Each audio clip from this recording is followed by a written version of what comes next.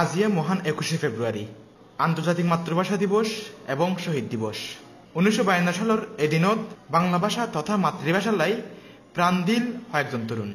তার মধ্যে সালাম, বরকত, রফিক সহ ঢাকা বিশ্ববিদ্যালয়ের বেশ কয়েকজন ছাত্র। তারই সূত্র ধরেই প্রতি বছর একুশে ফেব্রুয়ারি পালন করে দেশবাসী।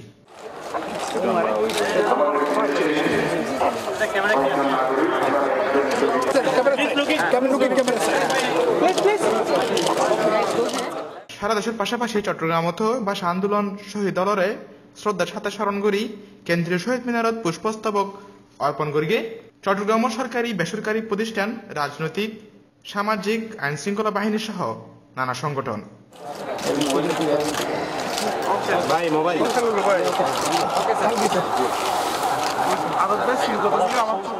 এই ভাষা দিবস লইরে বিভিন্ন জন হইয়ে। মহান একুশ আর আর বাঙালি জাতির চেতনাকে সানিধ্য করছি এবং মহান একুশের চেতনায় অসাম্প্রদায়িক বাংলাদেশ আরা পায়।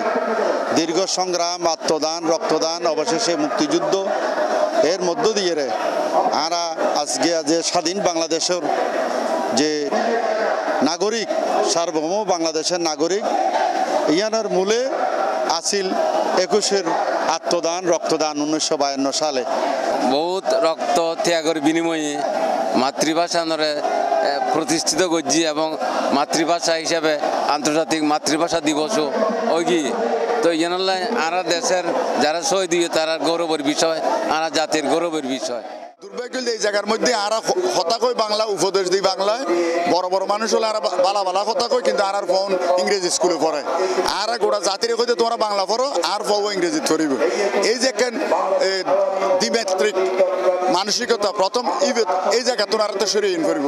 আর যারা বড় মানুষের ফল ইংরেজি স্কুলত পড়ের ইতারা উপদেশ নদী তারার ফোনের বাংলা বিভাগত আনা করিব এবং আজ বাংলা বাংলা ভাষারে ধ্বংস করি বলে একটা চক্রান্ত চলে। পরীক্ষার মধ্যে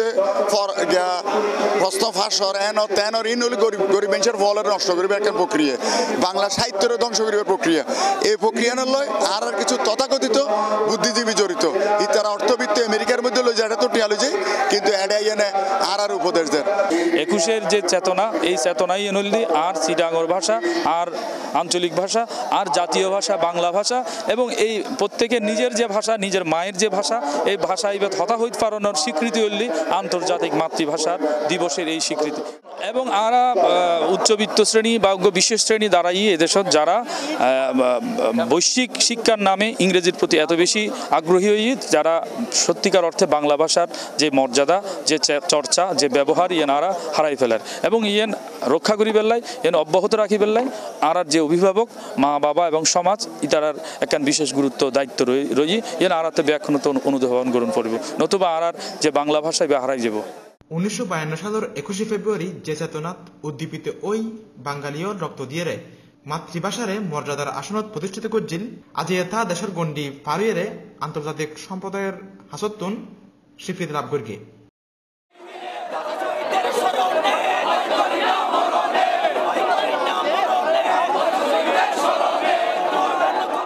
Monirul Islam Munna C plus TV